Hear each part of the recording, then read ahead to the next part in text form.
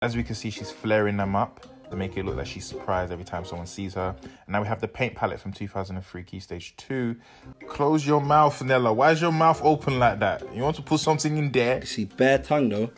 What's going on there? she pretending to have freckles. That looks like a graph. That's got no correlation as well. Like at least make it a positive correlation. Hey, my lip gloss be popping. My lip gloss is cool. I deceive the man. Don't look like this at all.